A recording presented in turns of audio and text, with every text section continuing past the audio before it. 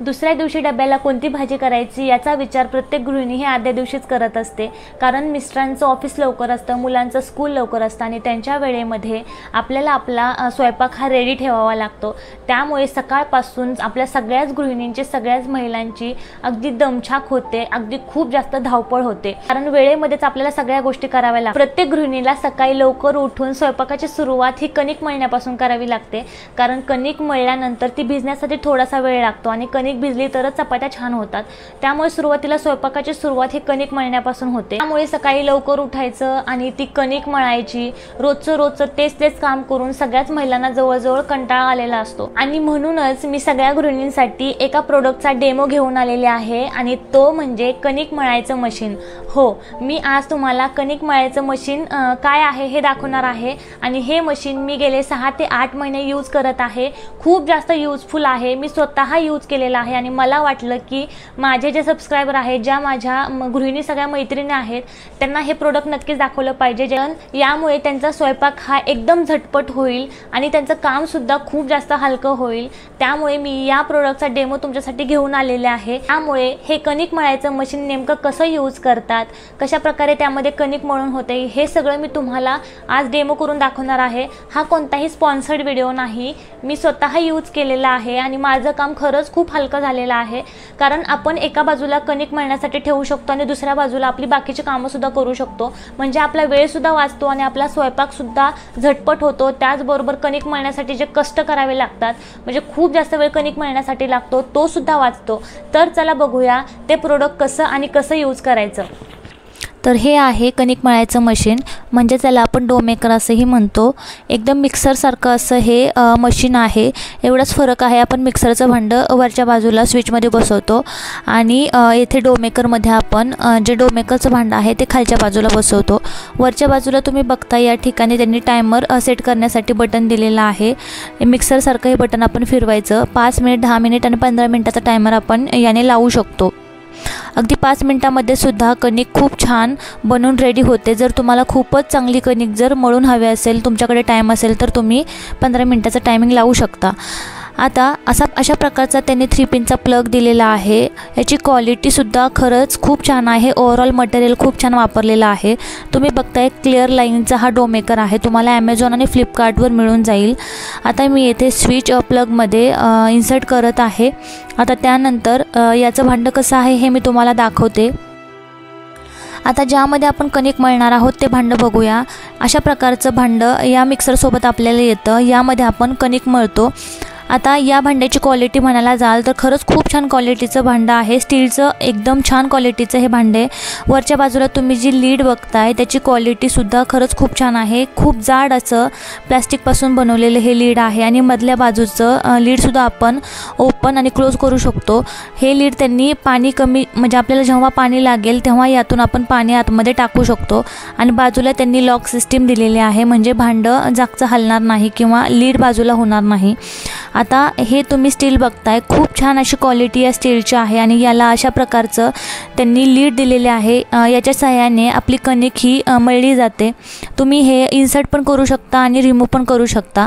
यामुळे तुम्ही भांडं अगदी छान असं क्लीनसुद्धा करू शकता. खालच्या बाजूने अशा प्रकारे त्यांनी स्विच दिलेला आहे. तो आपल्याला मिक्सरला इन्सर्ट करायचा आहे. आता हे भांडं यामध्ये कसं इन्सर्ट होतं हे मी तुम्हाला दाखवते.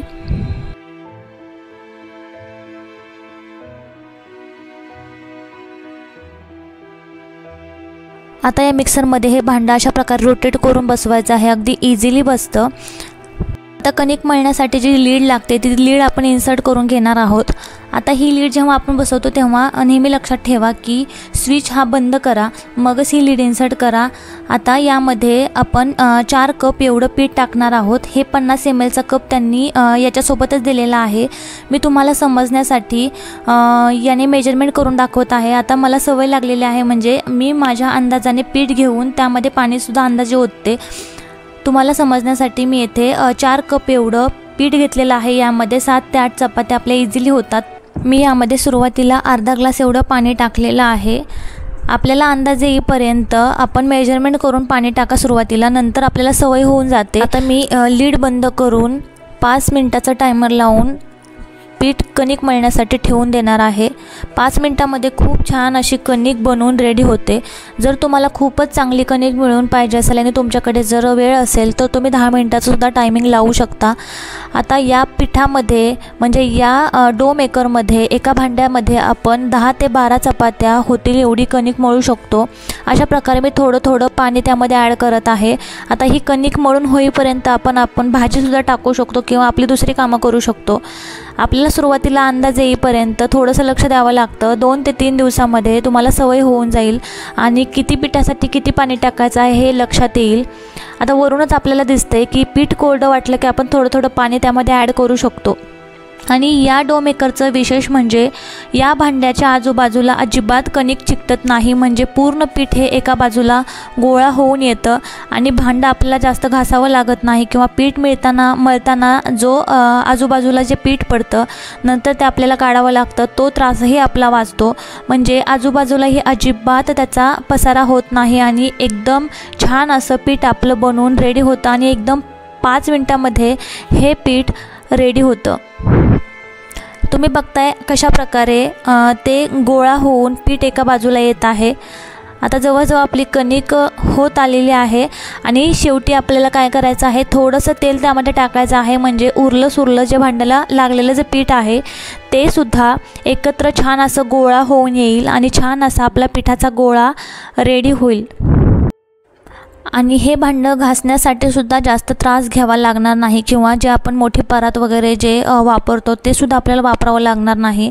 एक छोटंसं भांडं आहे यामध्ये आपलं इझिली पीठ कणिक मळून रेडी होते. त्यामुळे खरंच खूप जास्त उपयोगी हे भांडं आहे. आपली कणिक बनवून झालेले आहे. आपलं स्विच आपण बंद करायचं आहे. आणि तुम्हाला मी दाखवते अशा प्रकारे खूप छान सॉफ्ट असा कणकीचा गोळा बनवून तयार होतो.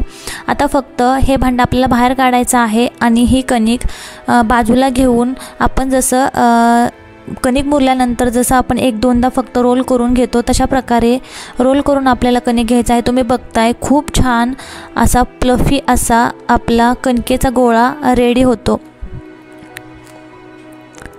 खूप सॉफ्ट अशी कणिक बनवून रेडी होते. आता फक्त एकदा दोनदा आपण तेल लावून हाताने कणिक थोडीशी चोळल्यानंतर अशा प्रकारे छान असा गोळा कणकेचा रेडी होतो. सुद्धा नक्की हा डो मेकर ट्राय करा आणि खरंच तुमचं खांब खूप हलकं होईल.